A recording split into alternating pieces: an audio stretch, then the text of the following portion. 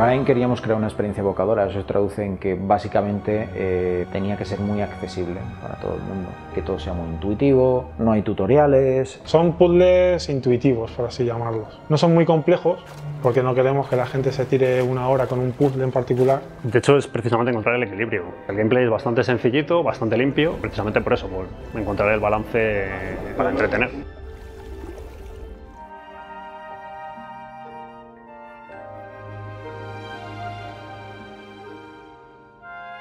Por un lado tenemos una serie de mecánicas tradicionales, pues por ejemplo puedo correr, puedo saltar, puedo sprintar, puedo escalar, puedo coger cosas, puedo empujar cosas. Y luego tenemos unas mecánicas más exóticas que requieren aprendizaje por parte del jugador, como es por ejemplo el uso del sonido. El sonido ahora en Rime es una, es una mecánica relativamente importante. Tenemos objetos que reaccionan, objetos vamos, con los que el personaje interactúa mediante el sonido.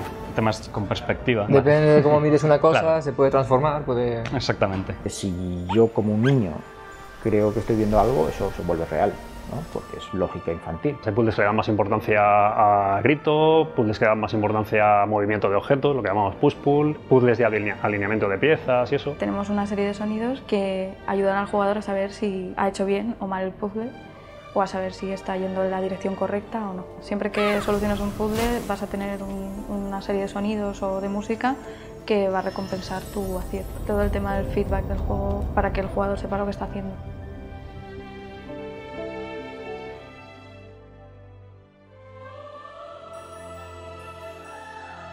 En la propia torre, que hay un símbolo enorme, como el que es el cerrojo ese, es un símbolo recurrente. Sirve también como gameplay, como una especie de un, ancla, porque vas pasando por zonas distintas, entonces tienes siempre una referencia, vale, pues la torre está aquí, y a la vez es como tu objetivo final. Tú sabes que tienes que hacer algo y acercarte a ella.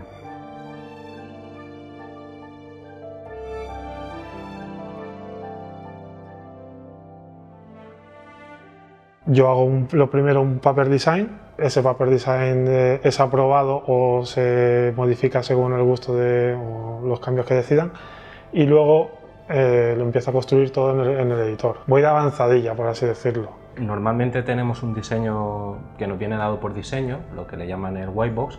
Entonces, lo que primero dibujamos y lo que se acaba modelando tiene que adaptarse a eso. No es un trabajo tan artístico de me invento algo bonito y ya está. Es un trabajo diario de, de ajustar a digamos, todo lo que queremos hacer bonito, pero que encaje dentro de, de ese escenario que han planeado los diseñadores. ¿no?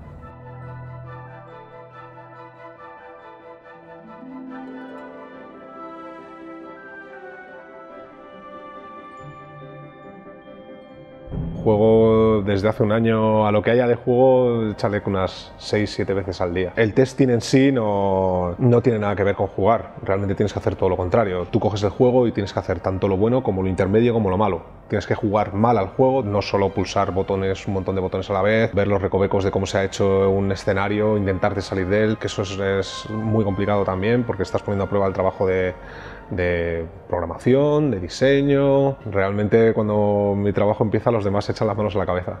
Esa, esa es la verdad. Hay entornos que son más abiertos y otros más cerrados, pero en todos ellos sí que tiende a haber una cierto, un cierto componente de exploración. Rain es un juego en el que el principal componente es la exploración y la aventura, así que efectivamente hay un montón de pequeños detallitos y secretos y, y easter eggs eh, dispersados por todo el juego, básicamente. Explorar el entorno se recompensa. Hay veces que dices, bueno, me voy a ir por aquí porque puede haber algo. Te encuentras un secreto o te encuentras un, un amanecer, un atardecer. Pequeños detalles, pequeños efectos, como por ejemplo luciérnagas que solo ves durante la noche, entonces, claro, pasas por una zona de día y pasas por la noche, es totalmente diferente. Los sonidos cambian también, la propia animación del niño pues cambia, igual hace como un poco más de frío. Es un plus a nivel visual.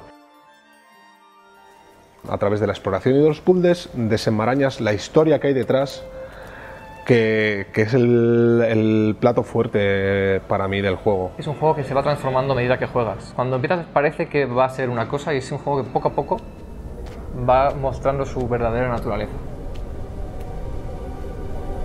Por un lado tenemos el niño, alguien que como tú no tiene mucha idea de ni de dónde está ni cómo funcionan las cosas. ¿no? El niño me encanta. Las expresiones faciales que tiene el niño de sorpresa, de no creerlo muy bien. Well, initially I was looking at a lot of uh, Jungle Book because I think the character reminds me very much of the Mowgli character. Also, the kid also has kind of an anime physical quality, but his movement is more classical animation, Disney, not super cartoony or pose to pose, but something a little bit more real. Se ha incidido mucho en que sea eso precisamente un niño. Un niño no corre normal, corre más exagerado. For example, there's, there were at least five or six iterations on the run cycle alone just to get that looking loose and kid childlike. Raul wanted a lot of adaptive navigation. We try to change the animation so it looks like he's actually adjusting to the terrain, hoping to put in as much uh, contextual animation or character uh, idols to give the kid a little bit more of personality. What would a kid do if he's standing and waiting? Oh, maybe he scratches butt or something.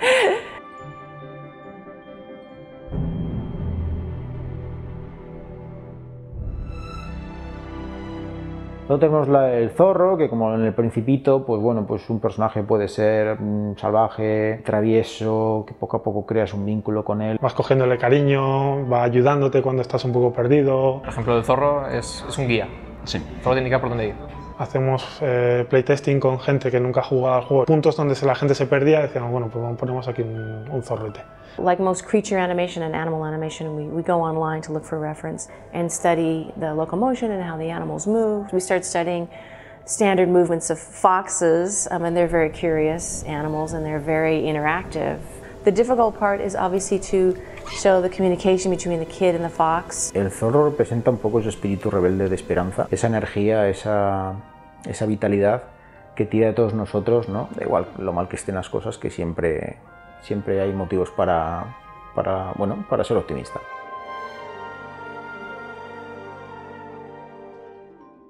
El personaje que sí que es muy curioso y también sale en los trailers y no se menciona tanto son las sombras. Nunca sabes cómo van a reaccionar cuando te vean y que realmente me gusta mucho, mucho cómo han quedado. Me parecen personajes muy millazaquiles, curiosos. Un punto entre, entre creepy Ah, y de mono. Sí. Es ese punto intermedio de creepy y mono que tienen que... Me- menos mono que creepy. Es más creepy, sí. Son como una especie de habitantes de esta isla. Eran los antagonistas principales en, en las primeras versiones del juego. Ahora, digamos, lo que son realmente son criaturas que, pues, según cómo se desarrolla el juego, sus comportamientos van cambiando.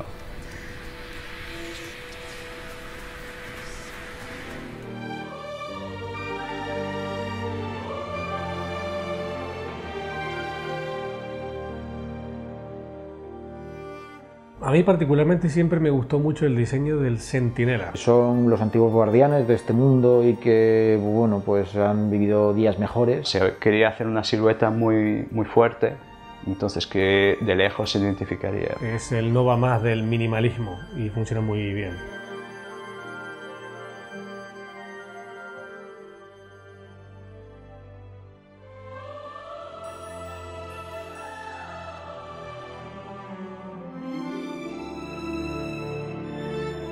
We're using initially uh, robotics as kind of a reference. There's a, a lot of great kind of robotic animals that have been created by Massachusetts Institute of Technology and different places. So we're looking at that just to get the weight and the kind of rickety quality. They're not particularly high tech. You know, it's important to capture the different ages of the sentinels. When they're young, we're looking at kind of child animation for how unstable they are. So, you know, it can be shaky like an old sentinel. It can kind of walk with a limp in some cases, depending on where you are in the game.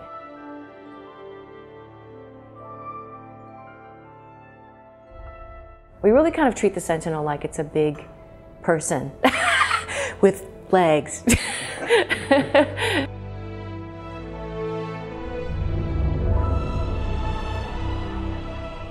De inicio, todo el tema de la playa y se podría decir hasta cierto punto relajante, ¿no? Entre la música, el ambiente. Lo que no sé si se esperarán es pues, cómo se produce el cambio que va después. El verdadero reto va a estar en ir cogiendo a la gente desde ahí, transformando ese estado mental para que vayan viendo lo que hay debajo escondido.